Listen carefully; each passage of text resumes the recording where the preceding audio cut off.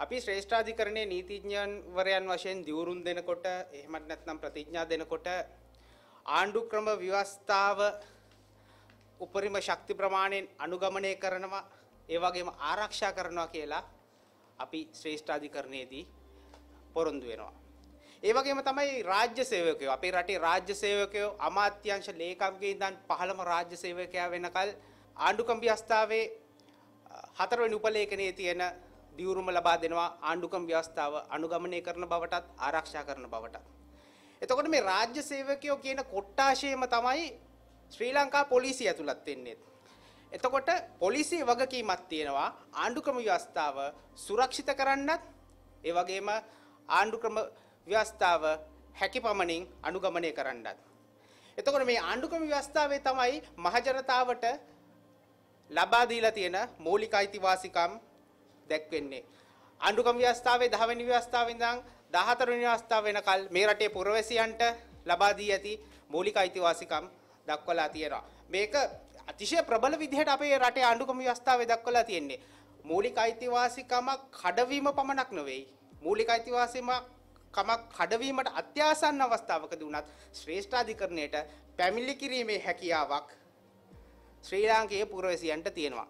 හැබැයි කනගාටුවට කරුණ තමයි මේ ආණ්ඩුක්‍රම ව්‍යවස්ථාවේ තියෙන මූලික අයිතිවාසිකම් කඩ කිරීම සම්බන්ධයෙන් වැඩිම නඩු ප්‍රමාණයක් මේ වෙනකොට තියෙන්නේ ශ්‍රී ලංකා පොලිසියට එරෙහිව. මේ මේ කතාව කියන්නට මම තෝරාගත්තේ ඊයේ යම්කිසි සිදුවීමක් සිදු වුණා කළුතරදී අම්මාවරුන්ගේ පාගමන කියලා එකක් කළුතර බෝධි අසරින් ආරම්භ වුණා කාන්තාවන් දෙදෙනෙක් මෑණිවරුන් දෙදෙනෙක් PTA එක යටතේ අත්අඩංගුවේ සිටින ගල්වැව සිරිදම්ම ස්වාමින් වහන්සේත් ඒ වගේම අන්තර් විශ්වවිද්‍යාල ශිෂ්‍ය බල මණ්ඩලයේ කැඳවුම්කරු වසන්ත මුදලිගේත් නිදහස් කරන ලෙස ඉල්ලලා කළුතර බෝධි අසලින් පාගමනක් පටන් ගත්තා. ඒක අවස්ථා කීපයකදීම අවස්ථා තුනකදී පොලිසියෙන් ඒකට බාධා කරා. ඒ බාධා කිරීම කරනකොට පොලිසියෙන් පුදුමාකාර අර්ථකථනයන් දුන්නා. දැන් අපිට මේකට වචනයක් තිබ්බේ නැහැ කියන්න. මේ මේ වචනේ අපි ස්තුතිවන්ත වෙනවා අපේ හිටපු පොලිස්පතිතුමාට පූජි ජයසුන්දර මහත්තයා මේකට වචනයක් හදලා දුන්නා නීතිය නමනවා කියලා. ඉතින් මේ අපි පොලිසියට කියන්නේ වැඩිය මෙහෙම නමන්න එපා නමන දේවල් කෙලින් කරගන්න බැරි වෙයි. මේ විදිහට නමන්න ගියොත් තමුන්ට තමුන්ගේ වාසියට නීතිය නමන ආකාරය අපි ඊයේ හොඳ ආකාරවම දැක්කා. පොලිසිය කළුතර දිනවත්තලා මොකද්ද කිව්වේ? පොලිසිය වයිසි ඇවිල්ලා කිව්වා ඔබතුමියලාගේ ආරක්ෂාව වෙනුවෙන් තමයි අපි මේක නතර කරන්නේ. ඊළඟට ඒ අම්මවරුන් ආයෙත් මේක අරගෙන යනකොට මේ බෝඩ් එක අල්ලගෙන යනකොට වාද්දුව පොලිසිය අතරින් නතර කරලා පොලිස් නිලධාරි මහත්තයෙක් ඇවිල්ලා කියනවා නෑ නෑ මේ මේකට නීතියක් තියෙනවා පාගමනේ යන්න දෙන්න බෑ අපි මේක නතර කරනවා කියලා.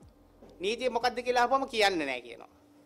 ඊළඟට පානදුර පොලිසිය අසලට ආපුවම පානදුර පොලිසියේ තරුපටි ගහගත්ත මහත්තයෙක් ඇවිල්ලා කියනවා මේ සාමය කඩ වෙනවා මහජන සාමය කඩ වෙනවා පාරාව ඉර වෙනවා ඒක නිසා ඔබතුමීලාගේ ගමන නතර කරනවා කියලා අත්අඩංගුවට මේ ගන්නවා. හැබැයි අපි දැක්ක විදිහට නම් කිසිම ආකාරයක මහජන සාමයට බාධාවක් වුණේ නැහැ. ඒ ඒ අම්මලා දෙන්න අර හාමුදුරුවන්ගේ පින්තූර දෙකක් අර හාමුදුරුවන්ගේ සහ වසන්ත මුදලිගේගේ පින්තූර දෙකක් අරගෙන පාරයින්ෙන් බොහොම අහිංසක විදිහට ගමන් කරේ. ඒ පින්තූරවල කිසිම මේ ප්‍රකාශනයක් අසභ්‍ය ප්‍රකාශනයක්වත් වාර්ගික අර්බුදයක් ඇති කරන ප්‍රකාශනයක්වත් කිසිම දෙයක් තිබ්බේ නැහැ. ඒකේ තිබ්බේ රිලීස් කියලා ගහලා තිබ්බා. අර දරුවන්ගේ පින්තූර දෙකක් තිබ්බා. අඩුම තරමේ ඒකක කපුටෙක්ගේ පින්තූරයක්වත් මයිනෙක්ගේ පින්තූරයක්වත් අඩුම තරමේ කපුටගේ මයිනගේ යාළුවා නරියෙක්ගේ පින්තූරයක්වත් තිබ්බේ නැහැ. ඉතින් මේ විදිහට ගියපු මේ පෙරපාලිය තමා නතර කරලා මේ අම්මාවරුන්න මේ සහ ඔවුන්ට සහය දීපු කට්ටියව අත්අඩංගුවට ගත්තේ. අපි පොලිසියට මතක් කරන්නට ඕනේ ශ්‍රී ලංකා ප්‍රජාතාන්ත්‍රික සමාජවාදී ජනරජය ආණ්ඩුක්‍රම ව්‍යවස්ථාවේ 14 වෙනි ව්‍යවස්ථාවේ පළවෙනි ව්‍යවස්ථාවේ සෑම පුරවැසියෙකුටම ලබා දීලා තියෙන අයිතිවාසිකම් ආ 14 එක ආවගන්ත යටතේ භාෂණයේ නිදහස ප්‍රකාශනයේ නිදහස ඇතුළු අදහස් පළ කිරීමේ නිදහස ඒ වගේම ආවගන්තියෙන් සාමකාමීව රැස්වීමේ නිදහස ඈ මගින් සමාගමේ නිදහස සහ 14 එක ඌ යටතේ ලංකාව තුළ යාම ඊමේ නිදහස ලබා දීලා තියෙනවා.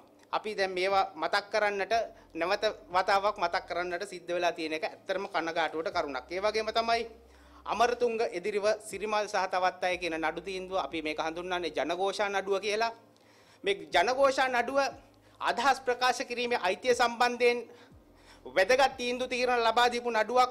මේ නඩුවේදී ප්‍රනාන්දු විනිසුරුතුමා ප්‍රකාශ කරනවා රජයට දේශපාලන පක්ෂවලට ඒ වාගේ තීරණය වලට සහයෝගය දැක්වීම හෝ විවේචනය කිරීමට ඇති අයිතිය ප්‍රජාතන්ත්‍රවාදී ජීවන ක්‍රමයක මූලික ලක්ෂණයක් කියලා.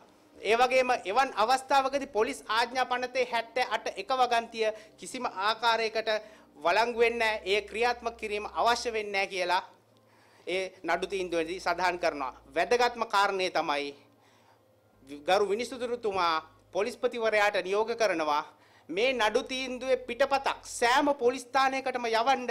මොකද මේක දැනගන්නට ඕනේ පොලිස් නිලධාරි මහත්තුරුන් අදහස් ප්‍රකාශ කිරීමේ අයිතිය ලබා දීමේ වැදගත්කම. ඒක නිසා හැම පොලිස් ස්ථානයකටම මේකේ පිටපතක් යවන්න කියලා විනිසුරුතුමා නියෝග කරනවා. මම දන්නේ යවුවද නැද්ද කියලා. අපි පොලිස්පතිතුමාගෙන් ඉල්ලා සිටිනවා. ඔබතුමා කරුණා කරලා ඔබතුමාලාගේ ලේඛනාගාරයෙන් ඒ නඩු තීන්දුව පිටපතක් අරගෙන ওই ලංකාවේ තියෙන සෑම පොලිස් ස්ථානයකටම යවන්න. ඔබතුමා ළඟ මේ මොහොතේ නැත්තම් කියන්න අපි ඒ නඩු තීන්දුව අරගෙන පිටපතක් ඔබතුමාට එවන්නම්. ඔබතුමාට ඒක පොලිස් ස්ථාන වලට යවන්න බැරි නම් කියන්න අපි අපේ වියදමෙන් අපි ලංකාවේ සෑම පොලිස් ස්ථානයකටම ඒ නඩු තීන්දුවේ පිටපතක් යවන්නම්.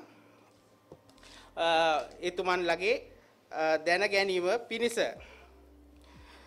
ඉතින් එකතකින් අපි කනගාටු වෙනවා කොච්චර කිව්වත් වැඩක් නැහැ මේ පොලිසියට මේ අදහස් ප්‍රකාශ කිරීම අයිතියට ඉඩ දෙන්න මූලික අයිතිවාසිකම් ආරක්ෂා කරන්න කියලා අර කතාවක් තියෙනවානේ කච්චිය පිච්චියට ගියත් බල්ල හෙළුවෙන් කියලා අන්න ඒ වගේ කතන්දරයක් තමයි කියන්න තියෙන්නේ. හැබැයි මේකෙම අනිත් පැත්ත සිදු වුණා. පහුගිය දවසක ගෝල් ෆේස් එකේ අරගලේ සැමරුමක් සිදු වෙනකොට පොලිසිය මේ දෙබෙඩි ප්‍රතිපත්තිය අර උස්තැන් දැක හැකිලෙන්නේ මිටිතැන් දැක පුප්පන්නේ කියලා කියන්නේ. අන්න ඒ වගේ මේ දෙබිඩි ප්‍රතිපත්තිය හොඳටම ප්‍රදර්ශනය වෙච්ච අවස්ථාව පහුගිය අරගලේ දවසේ අරගලේ සැමරුම් වෙලාවේ සිද්ධ වුණා. ඔබතුමන්ලාට ඒක බලන්න ඕන නම් මම මේ පොඩි වීඩියෝ එකක් දාන්නම්.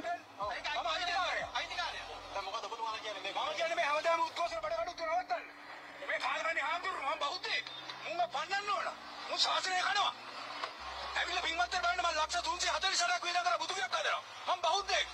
බුදුවනේ සත්‍යයි. පේමෙන්ට් ඔසන්ඩාල හාමුදුරුවෝ මේ සාසනෙට ගැලවුණේ නැහැ. අවජාතක වුණ මහාන කරපු එක. කෙල්ලර කුරුමින්. කොහොමද සද්දේ? මේ මේ චෙෆ්ලා ටිකක් සූපවේදින් ටිකක් ඇවිල්ලා කෑ ගහනවා. දැන් මෙතන මේ කතා කරපු කෙනා අපිට පස්සේ හොයලා බලනකොට ආරංචි වුණා එක්සත් ජනතා නිදහස් සංවිධානයේ හිටපු පානදුර ප්‍රාදේශීය සභාවේ മന്ത്രിවරයෙක් කියලා. ඒ වගේම හෝටල් දෙකක අයිතිකාරයෙක්ලු. ලක්ෂ 350ක වියදමින් බුදුගයක් හදනවලු. මම මේ හෝටල් දෙකක අයිතිකාරයෙක් ලක්ෂ 350ක වියදමකින් බුදුගයක් හදන මිනිහෙක් අනුන්ගේ කුස්සියක උයනවා දැක්කමයි.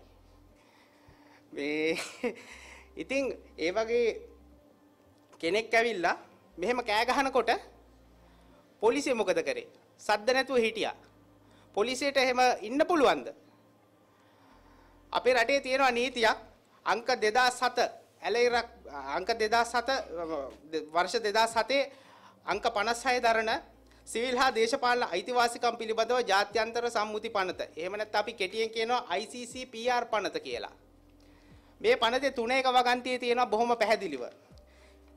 කිසියම් තැනැත්තෙකු විසින් යුද්ධ පැතිරවීමට හෝ වෙනස් ලෙස සැලකීමට ඉදිරිවාදිකම් වලට හෝ ප්‍රචණ්ඩ ක්‍රියාවලට යොමු කිරීමට සංයුක්ත වන ජාතික වාර්ගික ආගමික වෛරය සඳහා පෙළඹවීමක් නොකළ යුතුය කියලා. ඒකේ දෙවනි වගන්තිය කියනවා එවැනි වරදක් සිදු කිරීමට තැත් කරන අනුබල දෙන හෝ තර්ජනය කරන වරදකරුවෙක් අයෙක් වරදකරුවෙක් වෙනවා කියලා. එය බරපතල වරද බරපතල වරදක් බරපතල වැඩ සහිතව අවුරුදු 10ක සිරදඩුවමක් ලබා දෙන්න පුළුවන් වැරද්දක්. මේ මේ වරදට අප ගන්න පුළුවන් මහාධිකරණයෙන් විතරයි. ඒකත් සුවිශේෂී කරුණු තියෙනවා නම් විතරයි මහාධිකරණයෙන් අප දෙන්නේ. ඒ වගේම ඔබ ගිහිලා බලන්න දණ්ඩ නීති සංග්‍රහය 291 ආ සහ ආවගන්ති දෙක මේ මේ මේ මේ වරද සම්බන්ධයෙන් තියෙන්නේ. එතකොට පොලිසිය මේ වගේ බරපතල වැරද්දක් වෙනකොට අ, කිසිම දෙයක් කරේ නෑනේ. හොය බලාගෙන හිටියා. අපිට තියෙන ප්‍රශ්නේ මේ මේ අරගලේ මේ අරගලේ සැමරුම් වෙලාවේ පොලිසිය සහයට සූපවේදින්නවද සූපවේදින්ගේ සහයට පොලිසියාවද කියන එක. ඉතින් බරපතල ප්‍රශ්නයක් පොලිසියට අනිත් එක පොලිසියට මූලික අයිතිවාසිකම් පොලිසිය අතින් කඩ වෙන්න ඕනේ නැහැ. තව කෙනෙකුගේ අතින් මූලික අයිතිවාසිකම් කඩ වෙනවා නම් පොලිසියේ වගකීමක් තියෙනවා මහ ජනතාවගේ අයිතිවාසිකම් රකින්න. වෙනත් කෙනෙකුගේ අතින් මූලික අයිතිවාසිකම් මහ ජනතාවගේ කඩ වෙනකොට අදහස් ප්‍රකාශ කිරීමේ අයිතිය ආගමික නිදහස පොලිසියට වගකීමක් තියෙනවා. ඒ දේ නතර කරන්න. නමුත් පොලිසිය නිහඬයි. ඇත්තරම අපි ලැජ්ජ වෙනවා මේ වෙන කාරණා සම්බන්ධයෙන්. ඉතින් අ, මගේ මිත්‍රයා කතා කරන්න බලන් ඉන්නවා ඊට කලින් මම තව පොඩි අ, වීඩියෝව පෙන්වන්නම් මේ පහසුගිය දවසක ශ්‍රී ලංකා පොදු ජන පෙරමුණේ මාධ්‍ය හමුවකදී අ, ඇති වෙච්ච කතා බහක්. මේ කතා කරන්නේ අපේ SP දිසානායක මහත්තයා. පොදු ජන පෙරමුණේ තමයි බහුතර බලය පාර්ලිමේන්තුවට තියෙන්නේ. පොදු ජන පෙරමුණෙන් තමයි ආගමැතිතුමා ජනාධිපතිතුමාව පත් කරේ. ඒ පොදු ජන පෙරමුණට අපට අවශ්‍ය අමාත්‍යාංශ පිළිබඳව ඒ පත් කළ යුතු පුද්ගලයෝ පිළිබඳව අපේ ලේකම්තුමා ඒ පක්ෂයට දැනුම් දීලා තියෙනවා. ඉතින් ඒක ඒ- ඒ අය මේ පිළිබඳව ජනාධිපතිතුමා තීන්දුවක් ගනි. ඒ කියන්නේ ඒ වැඩේ සම්පූර්ණ ඒකාධිකාරය ශ්‍රී ලංකා පොදු ජන පෙරමුණට තියෙනවා කියන කතාව නේද ඔබතුමා කියන්නේ? නෑ නෑ එහෙම නෑ. එහෙම ඒක අධිකාරිය තියෙනවා නේ බහුතරය අපිනේ. අපිනේ අය සානිල් වික්‍රමසිංහ මැතිතුමා අගමැති කරේ අපිනේ එතුමාව ජනාධිපති කරේ.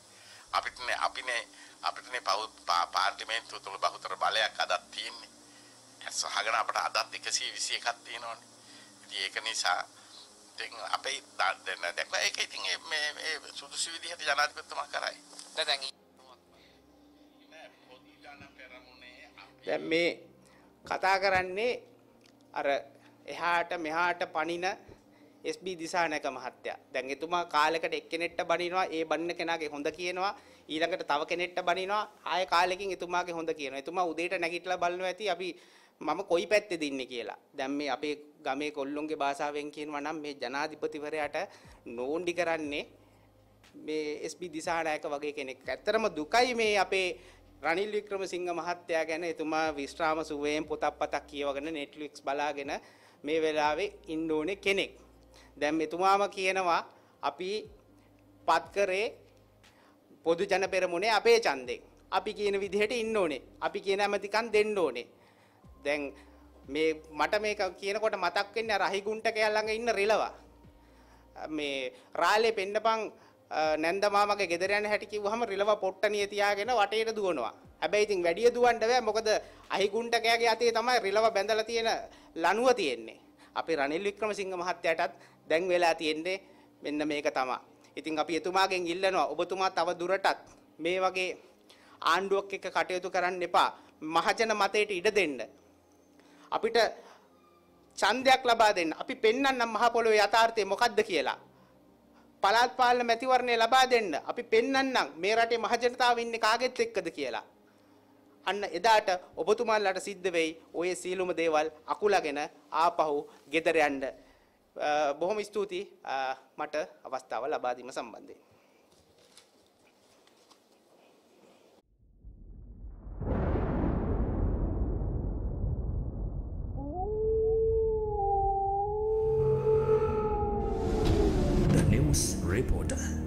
Reporter වාරණයෙන් තොර අපක්ෂපාති වාර්තාකරණය.